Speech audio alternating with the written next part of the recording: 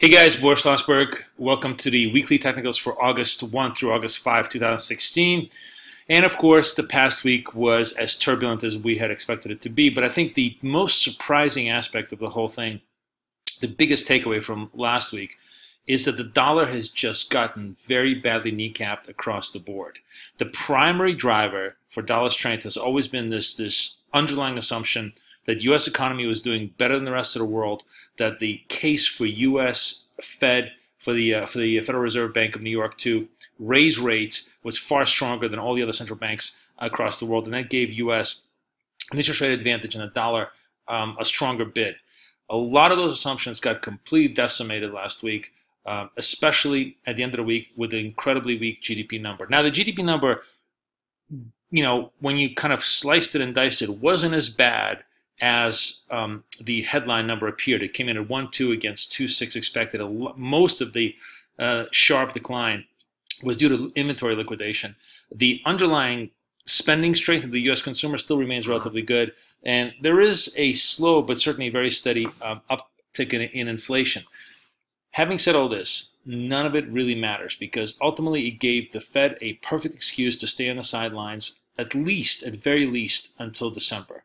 Uh, remember, we've been trying to push off this um, this interest rate hike every single cycle, and now, of course, coming up into the U.S. election, which promises to be probably the single most polarizing partisan election we've ever had in the history of the country, or certainly uh, we've had in the last 50 years, the Fed is loath, loath to intervene um, policy-wise during the election season. The election season in the U.S. officially kicks off September after after uh, Labor Day holiday in the U.S. September 8th. That's really when the full election uh, season goes in, in, in, full swing, which means the Fed is very likely not going to do a blessed thing um, all the way through the uh, throughout the election season. And now with a very weak GDP number that came in on Friday, um, it gives them perfect cover, um, even if the employment data this month, which comes out at the end uh, of the week, um, is better than expected. Now, um, I'm just going to take a look and see what the expectations are for next. Um, I just want to make sure, but I think you know the the market is looking for, yeah, not even looking for much. Uh, market is only looking for 170,000 in payrolls. Even if we do 200,000 in payrolls, it's not going to matter. It's not going to be enough to move the needle to get the Fed to um, to become more hawkish. And I think that's the critical thing. The Fed has acknowledged the U.S. economy is doing better and still at the same time decided they're not going to do a blessed thing about it. I think that's the takeaway from this week's message. And that, of course, puts the dollar in a very, very weak position um, for the near term because it takes away the underlying reason for why you want to be long the dollar because of the expectation of forward action. That's always what happens in the market. Remember, the markets are always driven by expectation of forward action. Once we've taken that expectation away, it makes it extremely difficult to make a buying case. So now the dollar only becomes sort of a repository of euro dollar flows or pound dollar flows um, or yen uh, selling flows. We'll get to those in just a minute, but I think I think that's the key thing to sort of really um, understand and appreciate that the dollar is no longer a positive trade; it only becomes a negative trade, which makes it much much more difficult to want to get long the pair. And in many ways, I think creates a structure here where uh, it's pretty much sell the dollar across the board, um, which means that you're basically buying euro dollar on dips, you're selling dollar yen on, on rallies, and you're buying pound dollar on dips, irrespective of what's going on internally on their own stories. Now, the stories that are going on in Europe are blah, but not horrendous. I mean, the, the Euros, Eurozone PMI is coming in relatively okay. There's really nothing going on in Europe. The, the, the sort of the single biggest worry in Europe is, is, of course, the Italian banking crisis. But the Italian banking crisis um, is kind of getting, for the time being, um, what should I use the word for? You know, camouflaged over, right? Painted over. Uh, they're putting a band-aid on the, on the Monte dei Um, takeover, and they're going to try to uh, recapitalize the Italian banks. And as long as they can just do that, I guess for the next uh, several months, it's really not going to matter much. The the ECB stands ready to make liquidity, but it's not at a point at a critical juncture here where it needs to make liquidity. So.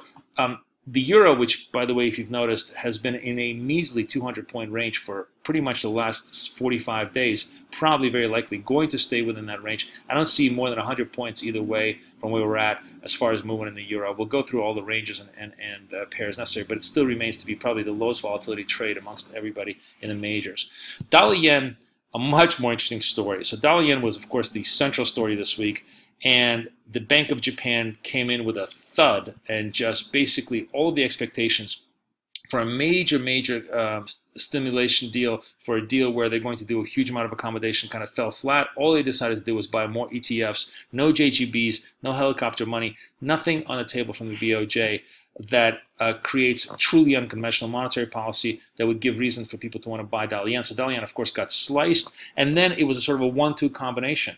Um, not only did it get hurt by all the disappointment on the fact that Japanese weren't going to dilute their currency any further, it got hurt by the fact that U.S. wasn't going to uh, provide a, um, a reason to buy because because of the slowdown in the U.S. GDP growth, which basically put the Fed on hold all the way until December. So dollar yen looks in a very very weak position for the time being. There may be some knee-jerk um, reactions here into the uh, positive data from ISM um, positive data from payrolls, but all of it I think is essentially temporary. The much more critical thing, the only the only reason why I'm very very leery leery of shorting dollar yen at these levels is intervention because we're getting to the level of 100 dollar yen, and all of the Japanese officials have said it is impossible. It is impossible for them to escape deflation if dollar yen trades at 100 um, or below. So I think there's going to be some sort of a concerted effort here to try to want to push this higher. We also, of course, have this week Prime Minister Abe's announcement that um, that they're going to uh, create perhaps more fiscal stimulus. And if that's a story, that could provide a little bit of a lift. But still, in many ways, we'll take a look at the charts. Dollar yen remains um, a sell the rally trade. Um, it is not, however, a uh, short on a breakdown trade because I'm very much afraid of intervention risk, and I think that's the danger that, that you could um, you could experience. I mean, you could probably trade it relatively comfortably till the parity level, but if it gets anywhere close to that, you could have a you know 300 point spike against you in a matter of seconds. That's why I'm very leery shorting the trade um, for non-market related reasons. Um, and the other story I think that's that's bubbling up here is that the Brexit story is starting to filter away. Now, this is going to be actually a good week to see just how bad the impact of Brexit has been. Because if you look at this, um, what's happening in UK right now, basically, is that I think Theresa May, the new prime minister, is doing everything in her power to want to completely forget the Brexit vote. Uh, whatever she says, whatever lip service she gives to uh, to the general public, take a look at her actions, and you see that she has zero interest in actually invoking Article 50, zero interest in actually decoupling UK from Europe, zero interest in actually pulling the trigger. And I think the market is sensing that. The market is sensing that, that basically Brexit is BS, to use um, uh, a more colloquial term.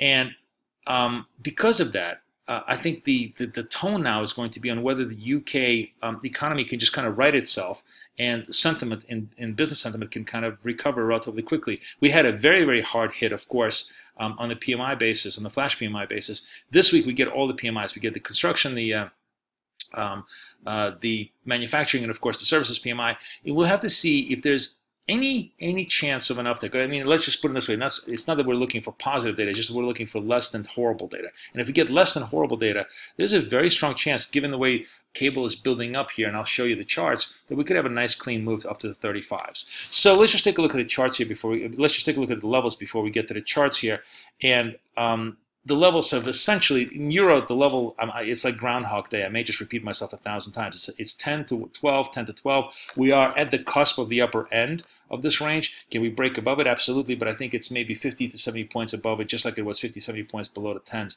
that really kind of stopped the range. We'll take a look at the charts and i'll show you exactly why.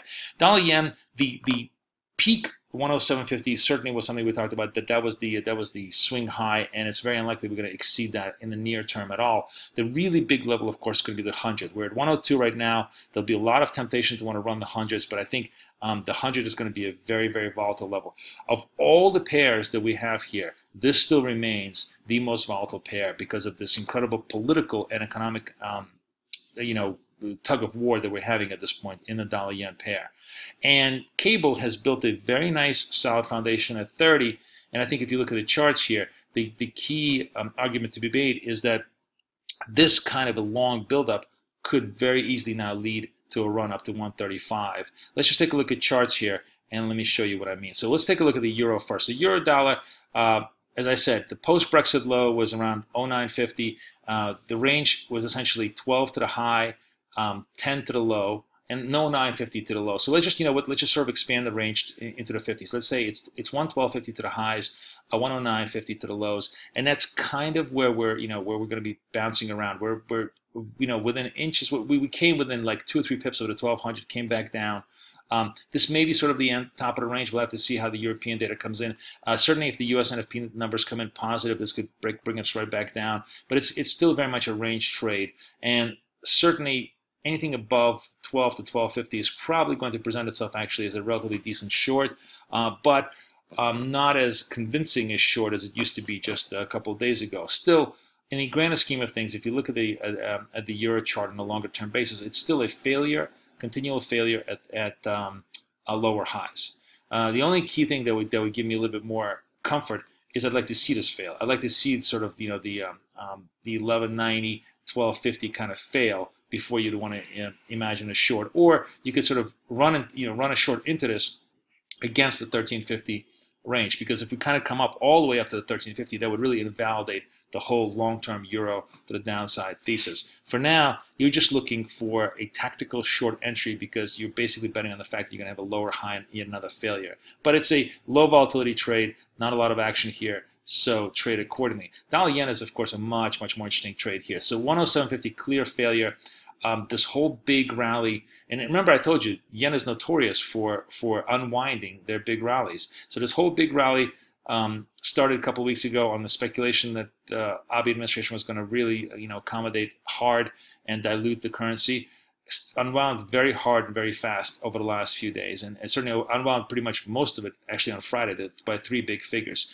The only thing that could make me positive yen is if we sort of stop over here, consolidate, and then you would have a series of higher lows, and you get a potential move back up to the 105s. Still think the 105, 106 is very much the top of this move for the time being, but it's not inconceivable to think that, that you know Abe could come up with some sort of a fiscal stimulus package plus positive U.S. NFPs could translate into a move higher. But we have to watch this very, very carefully. Um, certainly, once we start clipping into in, into the one, uh, 100s here, it becomes a very, very dangerous territory, ripe for lots and lots of stop running.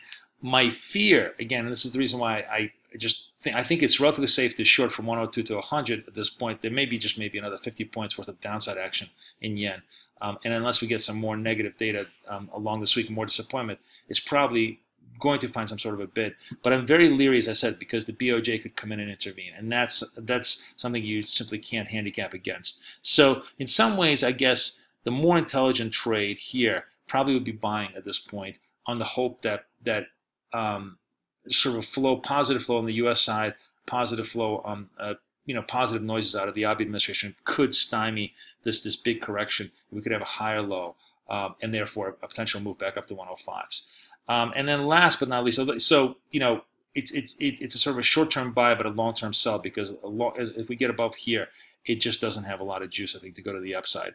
Pound dollar has been very interesting because I've been watching this really for the last month, and you've noticed the 130 has just been not touched. We've come up to 131 more than once, more than twice, more than three times, and has not been touched. And this has now created a very, very strong base. So all you need is just less than horrible data out of UK, and I think you get a squeeze back up, and a squeeze back up could possibly go all the way up to the 135, which is the very, very big resist level from the multi-year breakdown that we had post-Brexit. So to me, cable looks to be like a very interesting buy point at this uh, at this level, and that actually um, creates, in my opinion, some converse cross trades, trades that we've been trading to the long side for a long time um, with euro pound um, especially, may now become, I think, very interesting possibilities for the short for the short trade. Be watching that very carefully. I think it's going to create a lot of volatility over the next two weeks on the cross side. We'll discuss that in the cross section. But in the meantime, I like the pound to the long side as long as 130 holds. Um, I guess I like the yen to the long side because I certainly don't want to take it to the short side because I'm afraid of intervention risk. And, uh, and, and you kind of hope that, that this is, creates a higher low with a potential move to the 105. And the euro really is just a you know a blah trade either way. But I suppose you could start to lay out potential shorts here in the, in the 112 region, looking for a yet another fail and a move to the downside. But it's still a very low volatility trade. And, uh, and unless you're day trading like we do in our in our, in our chat room, I have zero interest in actually swing trading this particular pair. So that's how the week shapes up. Obviously, we're going to watch um, all the data set that's coming out, especially the non-farms payrolls at the end of the week. But the 100 level in the yen is the critical level. The 130 in the pound is critical level to the downside, 130 to the upside, in the 135 to the upside in the, in the pound, and 105 to the upside in the yen. With the uh, euro, it's still the 110, 112 range, boring as ever. But um, that's how the trade goes. Wish you guys the best of luck, the best trading. Boris Schlossberg, over and out.